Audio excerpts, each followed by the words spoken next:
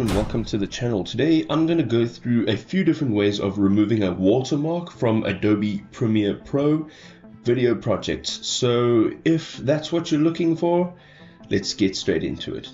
So you can see my video clip currently has a watermark down on the bottom right hand side of the screen. Now there's no direct way of removing a watermark from Premiere Pro. There could be third party plugins that you could use, but right now, directly in Premiere Pro, there are three ways that you can do this. The first way, you need to select your clip, you need to copy your clip. So let's use Control C on our keyboard.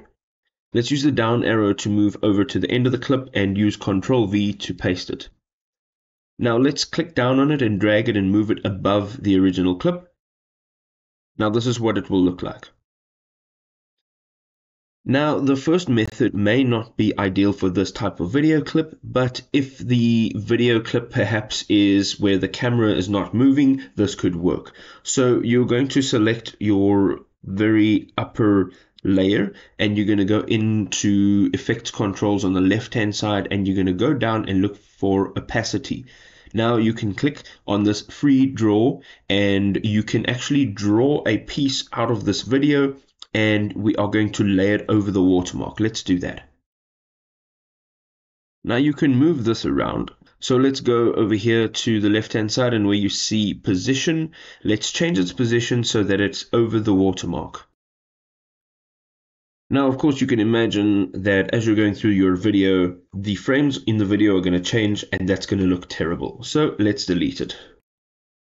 The other thing that we can do here is go over to your effects on the left hand side on the bottom and you can go to video effects.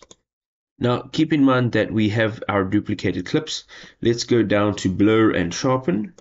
Let's open it up and there is a camera blur. Now you're going to click down and drag it over onto your very upper clip. Immediately it blurs the entire video, but what we're going to do now is over in opacity here, we're going to see effects controls. So you're going to go over to the left hand side and you're going to find the camera blur. Let's mask it. We have our mask now and we can move this over our watermark. Let's do so either by using the positioning over here on the left hand side or by clicking down and dragging it. So that's what it looks like now. And if you go down over here to this blur effect, you can actually just change a couple settings such as the feather, the opacity, and how much expansion it has on it, as well as the percentage of blur. So you can customize it so that your watermark is blocked out, but it's not really noticeable on your video clip. The third and the final method of doing so is only having one clip. You don't need a duplicate clip for this, so let's delete it. And here's our watermark. And what we're going to do is we are going to select our clip. And under the effect controls, we are going to go to scale and we're going to increase the scale. So essentially we're zooming into the video and we're zooming in and repositioning it so that the watermark is not visible.